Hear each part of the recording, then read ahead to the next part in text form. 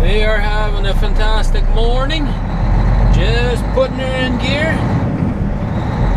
Just finished unloading here in uh, Hudson, New York. And talked to dispatch after I was done unloading, and he says to uh, go back empty to Mississauga, Ontario. So uh, we will be making our way to Mississauga. Yeah. Snowing a little bit right now. Well, hopefully the roads are going to be okay.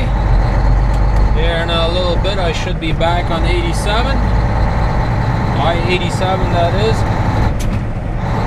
And then we'll be on the main roads again. Uh, yeah, I am happy that I finally got this load off. 2.5 miles. Oh, To the right this on was a Riverbank tough, Hudson tough, tough RT23. I don't know. I don't like delivering these windows, man. That was a pain getting into all these tight places, you know.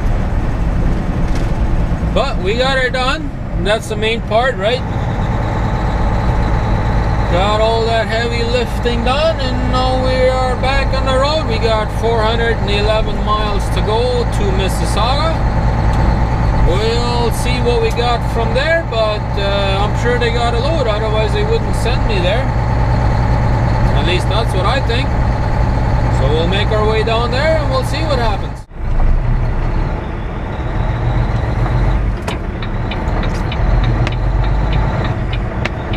Alrighty. I am just leaving the duty free here and uh, well, I don't know what this side of the border is called, but the other side is Fort Erie, Ontario. I keep forgetting what this side is called, but uh, I just stopped here in the duty free because uh,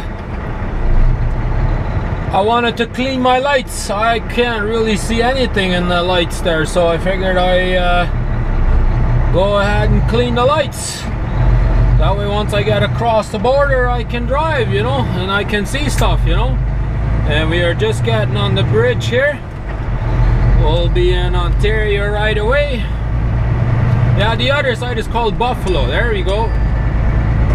Just remember, the other side is called Buffalo. But uh, I was going to tell you guys the story about uh, yesterday evening when I was sitting in my truck, I had my curtains closed and all that stuff. And I was uh,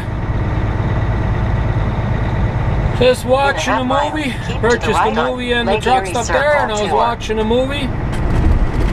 And uh, all of a sudden, I hear a bang. And uh, I, I slide my curtain aside and I look, and uh, guy beside me or, or not right beside me like right between me and another guy there was an open parking spot so somebody tried to back her in. And he hit the other guy trying to back into the spot. So he broke the other guy's bumper and all that stuff. Crossing so border. that scared me for a while I I slid my curtains open again. And I I sat on the driver's seat there for a while and watched everybody trying to back in their spots you know that that scared me a bit. And uh, but yeah so we are just enter we just entered Ontario here so we'll go across the border here. I know it's probably a little dark for you guys to see but anyways we'll see you later on. I don't know how good you're gonna be able to see it but underneath that bridge they got lights and they change colors on them eh? I don't know how well you're gonna be able to see it but uh, it looks pretty good at night when it's all dark. They change those colors. It's pretty cool. Well good evening. I guess it's good evening for me. I don't know if it's for you but hey it's good evening for me I am in Mississauga Ontario just finished dropping my trailer and uh, Bob tailed her over to uh, Flying J fueled up and guess what I am ready to go uh, take a walk over to Master Steak.